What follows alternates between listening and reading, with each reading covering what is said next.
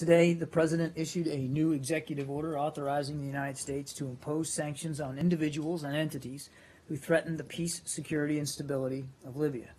This executive order allows the United States to take action against those who seek to obstruct, undermine, delay, or impede the political transition to the Libyan government of national accord, as well as those who threaten the peace, security, or stability of Libya through the supply of arms or related material.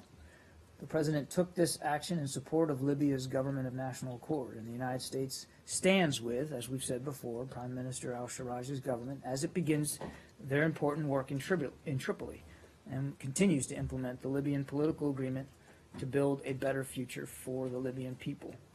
Following today's authorization, the Department of Treasury designated Khalifa Ghwell for being responsible for and complicit in certain activities outlined in this executive order. We're going to continue to consider other actions as appropriate under this executive order. We encourage all Libyans to continue facilitating a peaceful handover of power so that Libya's new leaders can begin the hard work of restoring stability to the country.